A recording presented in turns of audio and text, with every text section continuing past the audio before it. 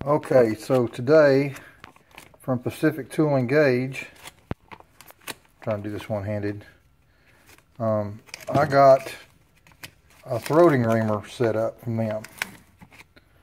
And uh, I'm going to show you something here.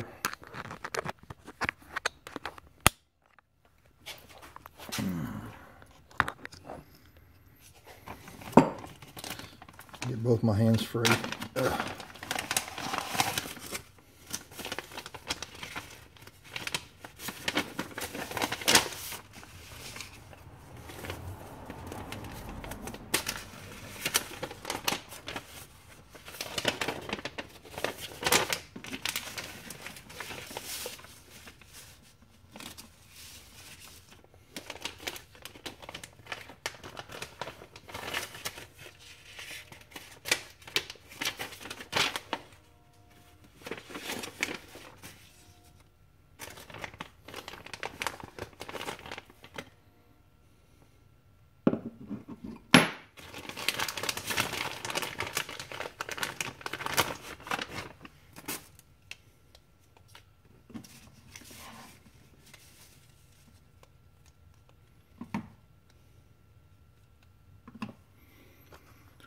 Okay. So this here is just the instructions. Got my, there we go. Which that's pretty straightforward, that part of it is. But look at this. This, let me see if I can get this where y'all can read it.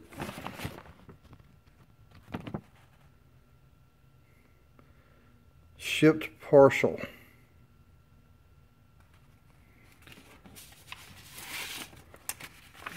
Pink slip says the same thing. And I think what I'm missing here, um, this reamer comes with, with a chamber bushing. And I specifically special ordered um, this bushing here that goes on the reamer for 7x57 Ackley Improved, which includes the 40 degree shoulder. But I also asked for the 3 quarter inch tapered bushing that goes in the back of the receiver because I wanted to make damn sure that everything is centered up as perfect as we can possibly get it when I ream this throat. And I'm to have to, I may, I may have to do the same thing um, with the neck diameter because I'm going to be using this uh, this uh, Lapua brass that I've got here, this 8x57 brass. Um, and the thing is, um, right now this is a tight neck chamber.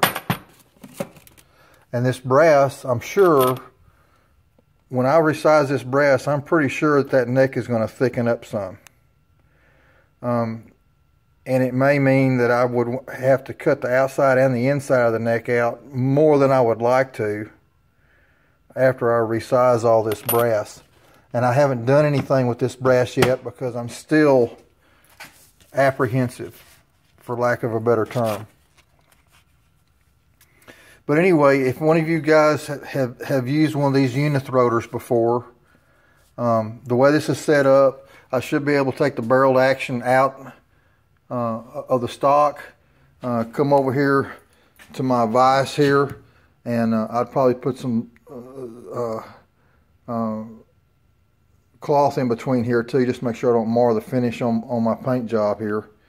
Um, but set this thing where it's where it's where the barrel's up and down, the action is straight up and down, and then um, you put the reamer set up in there, uh, turn it backwards, uh, until it settles to the bottom of it, and, and then uh, run your brass down. I, you know, all that stuff is is pretty straightforward as far as the way you use this thing. But if y'all have used this without the three quarter inch bushing that goes in the back of the receiver, let me know. Um, uh, let me know what y'all did and how it worked out, okay? Um, and if you have suggestions, please let me know. Thank you.